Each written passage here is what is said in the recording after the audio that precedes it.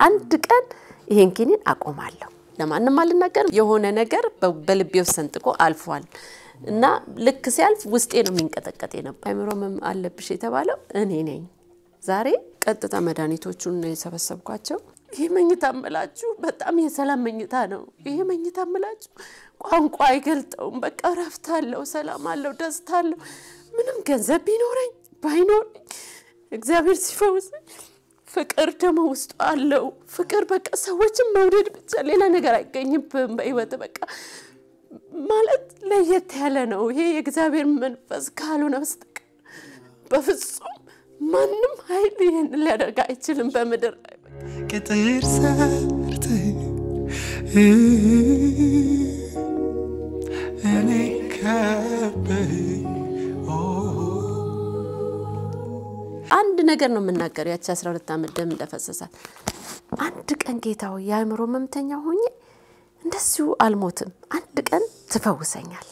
በቃ ይችን ጸሎቴ። አንድ ቀን ይሄን ኪኒን አቆማለሁ። ለማንም አልናገርም፣ በልቤ ነው የምጸልየው።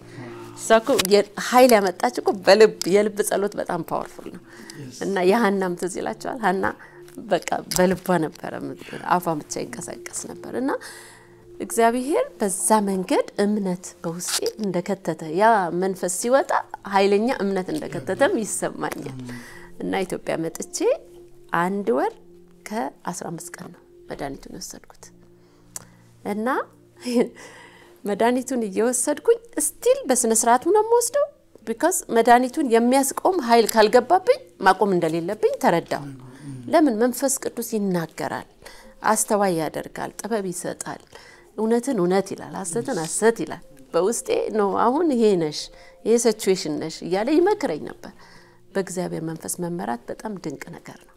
የሚባርክ ነው፣ የሚመራ ነው፣ ብርሃን ነው መንፈስ ቅዱስ እና በዛ ምሪት ውስጥ አንድ ወር ከ15 ቀን በኋላ አንዲት እህቴ እዚህም ላይ ጽፌያት አለው በጌታ በጣም በጣም መወዳት እህቴ እንደገናም የቤተሰብም ዝምድና ፋሚሊ የሆንን መሰረት ትባላለች። መሰረት ወልደ ሚካኤል እሷ እነሱ ቤት ሄጄ ጥቂት ጊዜ መውሰድ ፈለግኩኝ። አባታችንን በነገራችን ላይ በሰላም ነው ያገኘ ነው። ቁጭ ብሎ እንደውም ስለ ጌታም ነግሬው ንስሐ ገብቶ ነው አባቴ በመጨረሻው ላይ ተመልሼ ከሄድኩ በኋላ ከአስር ወር በኋላ ወደ ጌታ የሄደው እና እሱ አራት ወር ሶስት ወር ይቆያል የተባለ እሱ ራሱ አስር ወር ቆይቶ ነው ወደ ጌታ የሄደው እና በዛ ሰዓት እሷ ጋር ለማ ትንሽ ጊዜ ለመውሰድ ሄድኩኝ። እዛ ነው እንግዲህ ታሪክ የተቀየረው ታሪክ የተሰራው እዛ ከእሷ ጋር ባለሁበት ወቅት ነው። አንድ አምስት ቀን ፓስተር ባደግ የመሰረተው መስራች የሆነው ብርሃን አዲስ church ቤተ ክርስቲያን ነበር ስሙ ጠፋብኝ። ወደ ላንቻ አካባቢ ነው የእነሱም ቤት ወደዛ አካባቢ ስለነበረ ከዛ ቤተ ክርስቲያን ጸሎት አለ ሐሙስ ሐሙስ የፈውስ ጸሎት እዛ እንሄዳለን አለችኝ። ከስራ ስመጣ እሺ አልኳት። ደስ ብሎኝ አብረን ሄድን። ሰባኪው ከሰበከ በኋላ እንግዲህ ከዛ ጊዜ በኋላ church ተጸለየ።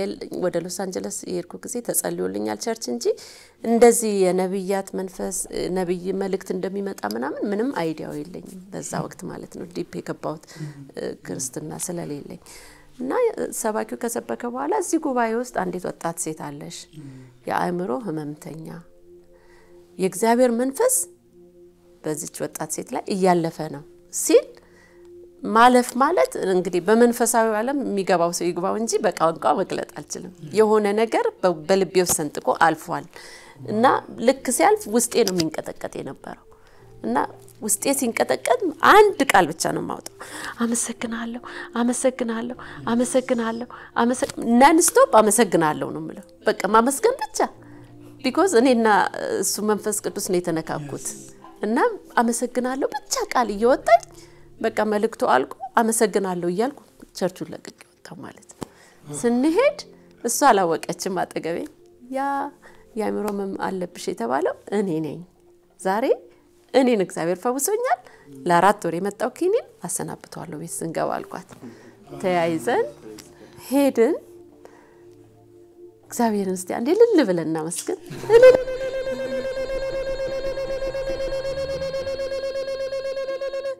እግዚአብሔር ነው።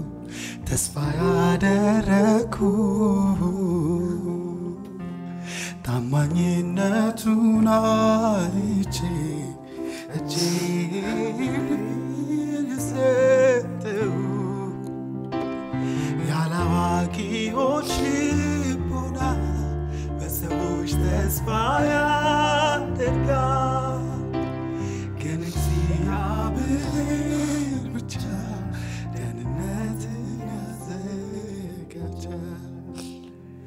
ተመስገን።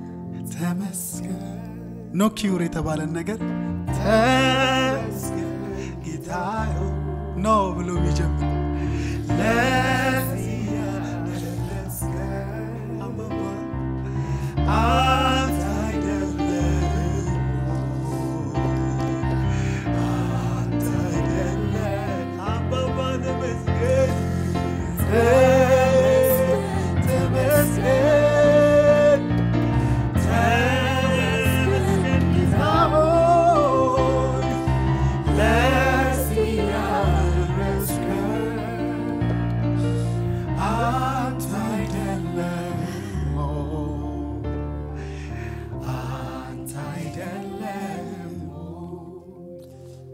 ሳነባ ልቤ ሲከፋ ስቆዝም በጥላት ተስፋ ሰው አይደረሰልኝ እጅ ነው ከሞት ያስጣለኝ እጅ ነው እጅ ነው ከሞት ያስጣለኝ። እጅ ነው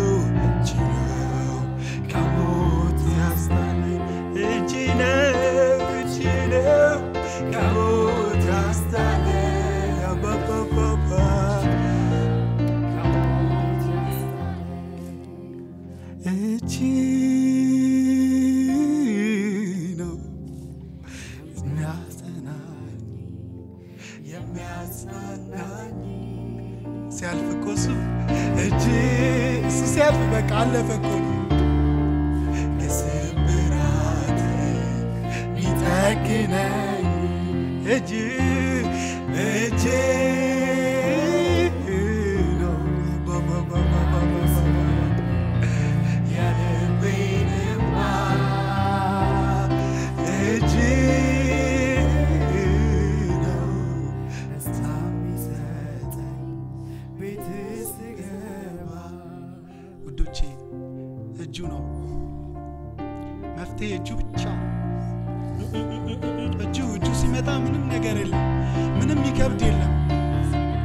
ኖ ኪውር የሚባል ነገር የለም አይቻልም የሚባል ነገር የለም እጁ ሲመጣ ኦ እጅ ነው እጅ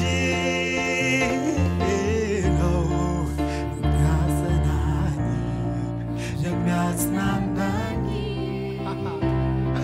እጅ ናዳ ያለማደሽ ሚጠግነኝ እጅ ዛሬ ያልፋል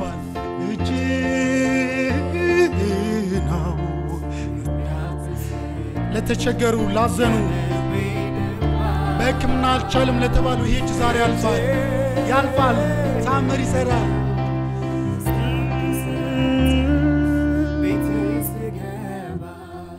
ሃሌሉያ የእግዚአብሔር እጅ አሜን። እግዚአብሔር ይመስገን።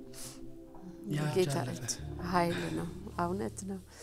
እግዚአብሔር ይባረክ እና ከዛ በኋላ ልክ ቤት ስንገባ ቀጥታ መድኃኒቶቹን ነው የሰበሰብኳቸው። ትንሽ ግን እዛ ጋር ተፈተንኩ። ከባድ ውሳኔ ስለነበር ማለት ነው። ማለት ምርጫ ነው፣ በህይወትና በሞት መካከል ነው የሚመስለው በዛ ሰዓት ማለት ነው። ያንን አምነው ያንን ድምፅ አምነው ይሄኛው ደግሞ አሳምኖ የነገረህን የሕክምናው ዓለም ያሳመነህን እሱም ኃይል አለው፣ ይሄም እዚህ ጋም ኃይል አለ። ስለዚህ በሁለት ኃይሎች መካከል አሸናፊው ኃይል ብቻ ነው ቴክኦቨር ማድረግ የሚችለው።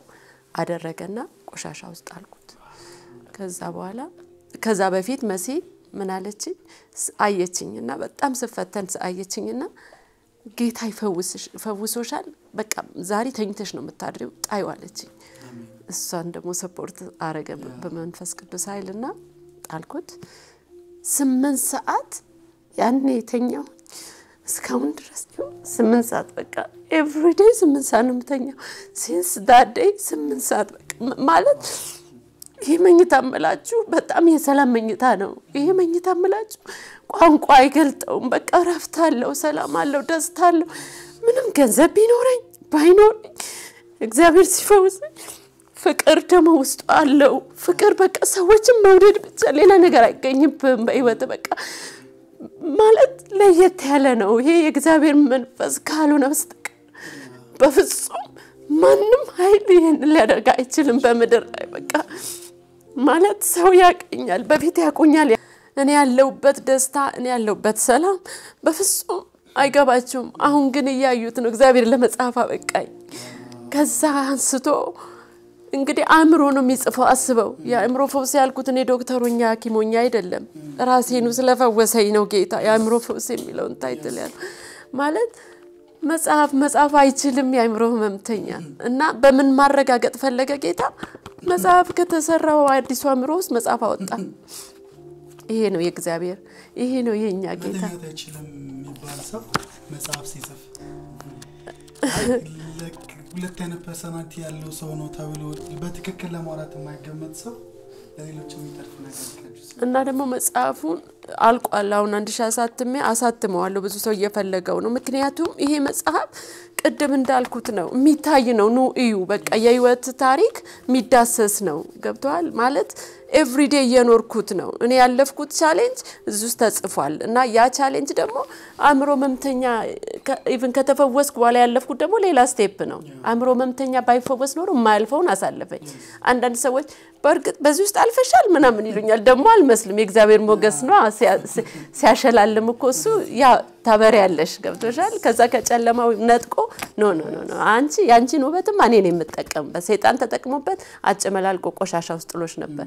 አሁን ግን የኔ ውበት ነሽ አንቺ ብሎ ጌታ ነው እንደገና አሞሻሽሮ ያቆመኝ ማለት ነው። ክብር ለኢየሱስ ይሁን።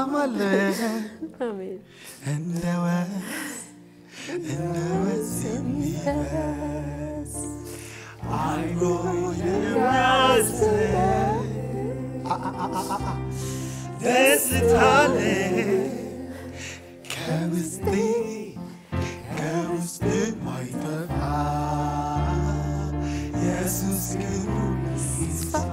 ከባድ እኮ ነው። የሰላም ከባድ ነው።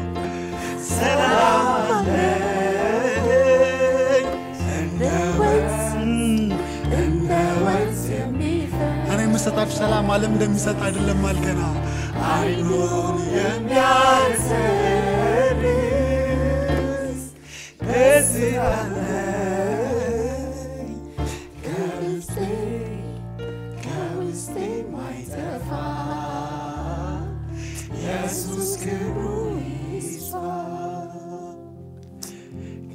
ከውስጤ ከውስጤ ማይጠፋ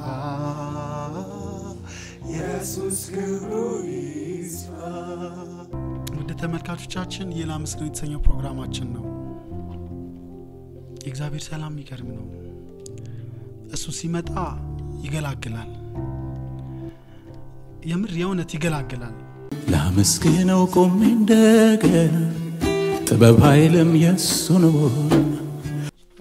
በዛው በተፈወስኩበት ቸርች ውስጥ እንዴት ሆነ መሰለ፣ ከዛ ያንን እንትን ይዤ ልክ ያቺ ውሃ አጠጭኝ ያላት ጌታ ኢየሱስ ሄዳ ወዲያውኑ ሄዳ ነው አይደለ? ነቢዩን አየሁት ያለች exactly next day በቃ በታክሲ ውስጥም ጌታ ኢየሱስ እኮ ያድናል፣ ጌታ ኢየሱስ እኮ ፈወሰኝ ካይምሮ ያኔ የተ- የተጸነሰው የተጀመረው ምስክርነት ይሄ መጽሐፍ የጻፍኩት አስራ ሁለት አመት የጻፍኩት ስመሰክር ያሉትን ህይወቶች የሳልፍ ስጽፍ ስጽፍ ስጽፍ በአስራ ሁለት አመቱ የአእምሮ ፈውስ መጽሐፍ ተጻፈ።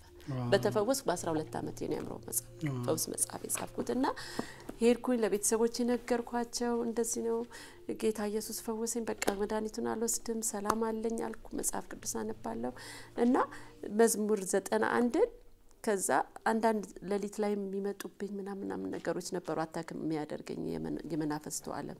ከዛ መዝሙር ዘጠና አንድን ስለው ስለው ሜዲቴት ሳረገው ሳረገው አሁን መዝሙር ዘጠና አንድ ሙሉን በቃሌ እንደውም አውቀዋለሁ። በልዑል መጠጊያ የሚኖር እንደውም ጌታ ዜማ ሰጥቶኝ እንደውም በልዑል መጠጊያ የሚኖር ሁሉንም በሚችል አምላክ ጥላ ውስጥ ያድራል እግዚአብሔር አንተ መታመኛዬ ነህ እለዋለሁኝ እያለ ይቀጥላል።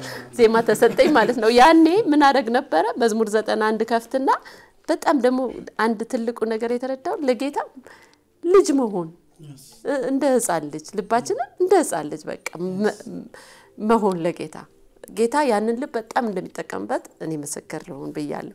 ዘጠና አንድን በጣም አንብቤ ገና በሜዲቴት አድርጌ በቃሌ ሳልይዘው ውይ ጌታ በቃ መዝሙር ዘጠናን በልዑል መጠጊያ እንዲገልጥና እዚህ ጋር ትራሴ ጋር አድርግና እንዲተኛለሁ እና በቃ ቃሉ ይዋጋልኝ ሌሊት ሌሊት በጨለማ ከክፉ ነገር ያድናል የሚለውን ብዬ ገልጬ አጠገቤ ተኛለሁ። ውል fight ቆመ ከዛ ጊዜ ጀምሮ ማለት ነው። እና በዛ በዛ ውስጥ በመመስከር በመመስከር እያለው ልክ በአስራ አምስት ቀኑ እንደገና እዛ church መሄድ ፈለግኩ ብዬ ደወልኩላና ያለችኝ እሁድ ቀን ሄድኩኝ እዛው ቤተ ክርስቲያን ማለት ነው። ከሌላ ቦታ አገልጋይ መጥቶ ነበር የሚያገለግለው፣ አሁን አላስታውሰውም። እና እሱ እያገለገለ እያለ እስቲ እጃችሁን በመሀል በስብከት ማላቋርጦ እጃችሁን እዚህ ላይ ጫኑ ብሎ ተናገረ። ልጸልይ ያለ እና ሁሉም ሰው ጉባኤው በሙሉ ጭኖ እኔም ጭኜ ይህንን actually YouTube ላይ ፍቅር ተደምሴ testimony ሰው ገብቶ ማየት ይችለዋል። በደንብ ሙሉ መስክሬዋለሁ YouTube ላይ አለ እና እጄን ጭኜ እየጸለይ ሁሉም ሰው እያለ ባለበት ሰዓት እንዲህ image ነው የማየው። ረጅም ነገር እየለበሰ ነው። እንደዚህ መጥቶ እጄ ላይ እንዲህ ነካ አድርጎኝ አለፈ። ሲያልፍ እዚህ አካባቢ እጄን የጫንኩበት እዚህ area ላይ ሞቅ ነገር እንደ እሳት ተሰማኝ። ከዛ ወዲያውኑ እዛ ሎስ አንጀለስ ታሪኳ የምታስታምመኝ ቤት ውስጥ ከዛ በፊት የረሳሁት sorry እየጸለይኩ ያለሁት ጌታ ሆይ አሁን በቃ ዳንከኝ። ከዚህ በኋላ እኔ ያንተ ነኝ፣ የራሴ አይደለሁም። የት ነው እንዳገለግል የምትፈልገው? ኤርትራ ነው? ኢትዮጵያ ነው? አሜሪካ ልመለስ? direction ስጠኝ ብዬ በልቤ ጸልይ ነበር። ያ የልቤ ጸሎት ነው። በዛ ነገር ውስጥ ወዲያውኑ ብርሃን መጣ። እዛ ሎስ አንጀለስ ሶስት ሆነን አንድ ቤት የምትባል cousin ያለች ታሪኳና እኔ ሶስት እጅ ለእጅ ተያይዘን እንዲህ አይነት ብርሃን ውስጥ ሎስ አንጀለስ እዛች ቤት ውስጥ እዛ ቆመን እንጸልያለን እና እኔ ነኝ ጸሎት ምመራው። ሁለትም ሆናችሁ ሶስት በተሰባሰባችሁበት የእግዚአብሔር መንፈስ መገኘቴ አለ ይላል እያልኩኝ የተንተባተብኩ ጸልያለሁ። ከዛ ልክ እሱን እየጸለይ እነሱም አሜን እንዳሉ እጅ ለእጅ እንደተያይዝን ጸሎቱ አሜን ሲል ጉባኤው ንቅት ስል ኢትዮጵያ ድንኳን ውስጥ ነኝ ማለት እዛ ቸርች ውስጥ ነኝ እና ደንግጬ አሁን ያየሁት ብርሃን እዚህ ጋር የተሰማኝ ሙቀት ለእኔ እንግዳ ነገር እማላቀው ዓለም ውስጥ መግባት ማለት ነው። አሁን ታሪኳን ጋር እጅ ለእጅ ተያይዤ አልነበር እንዴት ኢትዮጵያ ውስጥ ተገኘው ብዬ ደንግጬ ለማን እነግራለሁ? አሁን ቀኑ ስለሆነ ዛሬ እናገረዋለሁ እንጂ እና ምስክርነቴ ላይ ተናግሬዋለሁ። ምክንያቱም እንዲህ አይነት ነገር ከአይምሮ ህመም የተፈወሰ እንዴት ሊያወራ ይችላል? conflict ያመጣል አይደል? ምክንያቱም እንዴ እዛ ክንፍ አውጥተሽ ሄድሽ ያ እንትኑ ነው አይምሮ ስለሚባል ያ time ስላልሆነ ዝም ነው ያልኩት። ጊዜ ደርሶ ግን ይኸው መጽሐፉም ላይ ተጽፏል። እግዚአብሔር ይመስገን እና ያንን confirmation አግኝቼ ወዲያውኑ ደወልኩላት። ታሪኳ መኪናዋንም እንዳትሸጥ church በተቀመጠችበት ቦታ ትጠብቀኝ፣ በህይወት አለው በታላቅ ምሪት እመጣለሁ ጠብቂኝ ብዬ ወደ ሎስ አንጀልስ ሄጄ ሎስ አንጀለስ ጸጉር ሰሪ ነበርኩ ብያቸዋለሁ፣ በቤቨርሊ ሂልስ። እዛ ማናጀሯ በጣም ተወደኝ ነበር። ስድስት ወር ቆይቼ ነው በዚህ case ውስጥ ስድስት ወር ሞላ ያለፍኩበት ማለት ነው። እና ሄጄ ፓት ነው የምትባለው፣ please መመለስ ፈልጋለሁ፣ ስራዬን ወደዋለሁ፣ ጸጉር ስራ ምናምን አልኳት። ተመለሽ አለችኝ። ከዛ እዛ እየሰራው ከተመለስኩ አንድ አመት ከስድስት ወር ከሰራው በኋላ 2005 ሊገባ 2004 መጨረሻው አካባቢ ላይ ለአምስት ቀን ራእይ እውነተኛው የተፈወስኩበት ምድር እንደምፈለግ ሴተኛ አዳሪዎች ጋር ሌላ ራእይ ደግሞ እሱ ውስጥ አልገባም። ፕሮግራሙን ላለማስረዘም እዛ ላይ እግዚአብሔር ፈቅዶ ወደፊት ታትሞ መጽሐፉን ሰዎች የሚፈልጉት እንዲደርሳቸው እናደርጋለን። በራእይ ወደ ኢትዮጵያ ሴተኛ አዳሪዎችን በ2005 ነው ራእዩን ተቀብዬ የገባሁት። በመመላለስ በመመላለስ አሁን 2020 ግን completely for good እዚህ ገብቼ አገልግሎቱን በመጀመር ላይ ያለውኝ መሰረት በመጣል ላይ አይገርምም? እግዚአብሔር ማለት አይቻልም የሚባል ነገር ከሞትኩ እንኳን እስቲ ከኖርኩ እንኳን ተብሎ የታቀደ ነገር ጭራሽ ለሌላ የሚተርፍ ለሌላ ደግሞ የሚገርም ራዕይ ይዞ መምጣት ማለት ይሄ የእግዚአብሔር እጅ ነው። እሱ ሲመጣ እንዲህ ነው። እሱ ሲጎበኝ እንዲህ ነው። አንድ የመጨረሻ ጥያቄ ብቻ ልጠይቅሽ። ይህ ላመስግን የተሰኘው ፕሮግራም ነው። እግዚአብሔርን ምን ትይዋለሽ? አዊሽ ለየት ያለ ቋንቋ ቢሰጥ ይሄ ለእግዚአብሔር ብቻ ተብሎ ቢኖር ደስ ይለኛል። ላመስግን ጌታ ላመስግን ለእኔ ስላረከው ብዙ ስራ ቢሆንልኝ በውለታ ላመስግን ላመስግን ቅጥር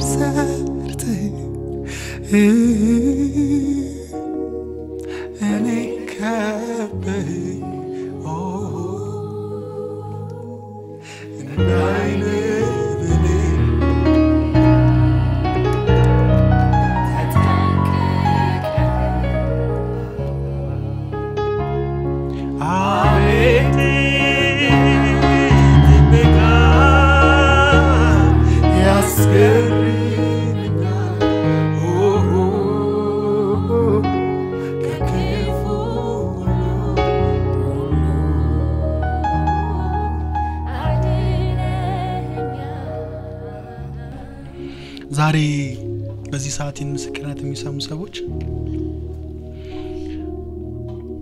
ምንም አይነት በሽታ ላይ ሆኖ አንቺ ጋር የመጣው እጅ እነሱ ጋርም ይደርሳል። እስቲ አጭር ጸሎት እናድርግላቸው። እስቲ ጸልይላቸው።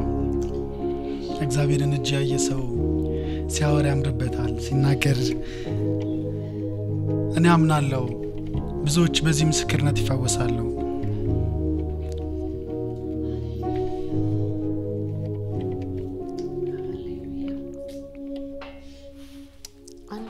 መናገር የምፈልገው ከመጸለይ በፊት በምድር ላይ በቃ የሆ- እየሆነ ያለው እየሰራ ያለው የጨለማውን ኃይል የሚያቃጥል አንድና አንድ ነው። እሱም እምነትና ምስጋና ይባላል። እምነትና ምስጋና አንዱ እግዚአብሔርን ማመን ሰይጣንን በፍጹም የሚያባርረው ነገር ነው። ይህንን በጥቂቷ እድሜ በልምዴ እግዚአብሔር ባስተማረኝ በቤቴ በመንፈስ ቅዱስ ኃይል ሆኜ በመነጽርና በትልቅ ብርሃን ያየሁትን ነገር ነው የምነግራችሁ። እግዚአብሔርን ደስ ማሰኘት አለምነት አይቻልም እንደሚል በመታመን ጌታን በማመን ደስ መሰኘት ማሰኘት እግዚአብሔርን ይቻላል። ሰይጣንን ደግሞ በፍጹም በፍጹም ለሚኪዬ ስነግረው ነበር ከአሜሪካ ደውዬ፣ አንተ እኮ ትልቅ ራእይ ነው የያዝከው። ይሄ ራእይ እኮ ማለት በጣም መንግስቱን የሚያፈርስ ማለት ነው። ምስጋና እግዚአብሔር እውነቴን ነው የምላችሁ ትልቅ መሳሪያ አድርጎ የሰጠኝ ከእምነቴ ቀጥሎ ምስጋና ነው። ምስጋና በምንም ውስጥ ለፉ፣ በህመም ውስጥ ለፉ፣ በችግር ውስጥ ለፉ፣ በረሃብ ውስጥ ለፉ፣ ጌታን አመስግኑትና እስቲ ጌታ በምድረ በዳ እንደመገባቸው ሰዎች አይመግባችሁ፣ ፈትኑት ጌታን በዚህ እኔ ብዙ ፈትኜ የተባረኩ ስለሆነ ነው። በማልፏቸው ሁኔታዎች each step ኤ ላይ ሁሉ አመሰግናለሁ ነው። በቃ ያኔ ተፈውሼ ስወጣ አመሰግናለሁ እያልኩ ወጣው። ለዚህ ነው ይህንንም የምስጋና ፕሮግራም እግዚአብሔር መንፈስ ነው ልቤን አሳርፎበት አሜሪካ እያለሁ pick ያደረግኩትና እ፣ ለ- ለሚኪዬ ደውዬ ይሄ በውስጤ ያለ everyday አምልኮዬ እኔ ምስጋና ነው አልኩት። life ኤ ምስጋና ነው አልኩት። ስለዚህ ይህንን ፕሮግራም የምትመለከቱ በሙሉ ይሄ የምስጋናና የእምነት መንፈስ ይጋባባችሁ። በዚህ በረከት እባርካችኋለሁ። ይሄ የእምነት መንፈስ፣ የምስጋና መንፈስ ታላቅ የመንግስተ ሰማያት ቁልፍ ማለት ነው። የእግዚአብሔርን መንግስትና ክብርና ኃይሉን የሚያመጣ ነው። ስለ ምንም ነገር አትናገሩ። ስለ ውድቀታችሁ አትናገሩ። ስለ ህመማችሁ complain አታድርጉ። just አመስግኑት። እግዚአብሔርን አመስግኑት። ኑ ምንም የሞተ ነገር ቢኖርባችሁ ልጆቻችሁ እናቶች የምታለቅሱ በየጓዳ ሆናችሁ የልጄ የአእምሮ ነገር መንፈስ ነው ምናምን አትበሉ። በቃም አመስግኑ። ልጄን ስለምትፈውሰው አመሰግንሃለሁ በሉ። እኔ እኮ ገና ስቀበል አመስግኝ ወጣው። ይኸው በምስጋና እግዚአብሔር ይኸው አቁሞኛል። ጌታ በየጓዳችሁ ይህንን ታላቅ የፈውስ ኃይል እንዲያመጣ ዛሬ በጌታ በኢየሱስ ክርስቶስ ስም ጸለይኩኝ። አባዬ ደግሞ ጸልዬ እንደማታሳፍረኝ አምናለሁ። ብዙ ምስክርነቶች ከዚህ በኋላ ወደዚህ ምስጋና እንደሚመጡ አምናለሁ። ይሄ ፈውስ እያንዳንዱን ጓዳውን አንኳክቶ እያንዳንዱን በቃ ተስፋ የቆረጡ ዘግተው ቤታቸው ውስጥ አይምሮ በቃ አይምሮዬ ነው ራሴን ላጥፋ የምትል ነፍስ አሁን ትፈወስ በጌታ በኢየሱስ ክርስቶስ ስም አሁን ትፈወስ። የእግዚአብሔር መንፈስ አሁን ሄዶ ይንካት። መንፈስ ቅዱስ በዓለም ዙሪያ ሁሉ በአሁን ሰዓት በእውነት እኔን የጎበኘ አባቴ እጸልያለሁኝ። እኔን የጎበኘ የኔን አይምሮ ከዛ ዝብርቅርቅ ውስጥ ከዛ ጨለማ ድቅድቅ ጨለማ ውስጥ አውጥተ አስደናቂ ብርሃን ውስጥ አድርገ በእንደዚህ መፍስ- ፈውስ ከእህቶቼና ከወንድሞቼ ጋር አንተን ለማመስገን ካበቃኸኝ ሌሎቹም እንደዚሁ ተራቸውን የሚጠብቁ የፈውስን ምግብ የሚጠብቁ ስለምትመግባቸው ቃሉን ላከ ፈወሳቸው ነው የሚለው ቃልህ ድ- ደግሞ እኛ በእምነት ዛሬ ተናገርን። እያንዳንዱን ቤት አንኳክተ ስለፈወስክ እናመሰግንሃለን። መንፈስ ቅዱስ ክብር ለአንተ ይሁን። ስለነበረን ድንቅ ጊዜ እናከብራለን። ስለነበረን የድንቅ አምልኮ አንተን ከፍ ከፍ የሚያደርግ አምልኮ እናመሰግናለን። እነዚህን ወጣት እህቶቼን ወጣት ወንድሞቼን ባርካት። እግዚአብሔር ተመስገን።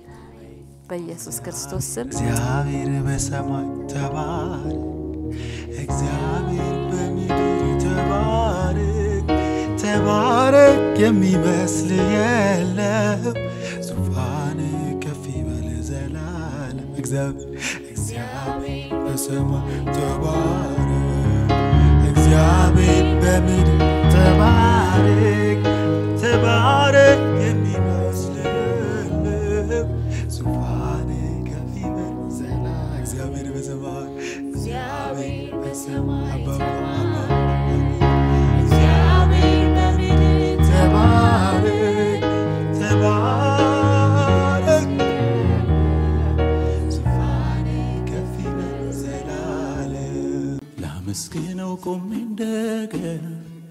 ጥበብ ኃይልም የሱ ነው።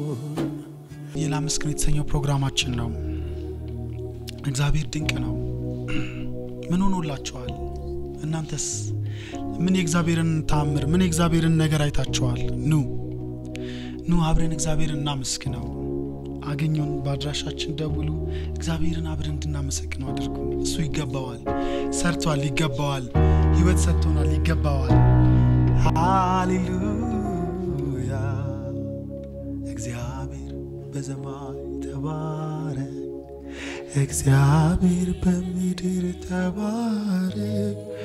ተባረክ የሚመስል ዙፋን ከፍ ይበል ዘላለም። ክብር ለእግዚአብሔር ይሁን። ይህ ላመስግነው ፕሮግራም ነው። በጣም ደስ ብሎናል። ውድ ዘማሪያን እንዲሁም ደግሞ ከእግዚአብሔር የቀመሰችውን የነካችውን እግዚአብሔር ያወራችልን በቅርታ እግዚአብሔር ብርክ ያርጋት። መጽሐፉን አንዴ ከታሪኳ ትንሹን ያካፈለችን እዚህ ውስጥ በጣም ብዙ ብዙ ታሪኮች አሉ። ብዙ በቅርብ ቀን በጣም ደስ በሚል ሁኔታ በደንብ ተባስቶ ታገኙታላችሁ።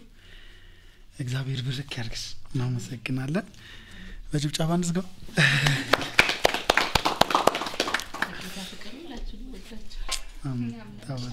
ላመስግነው ቆሜ እንደገና ጥበብ ኃይልም የሱ ነው።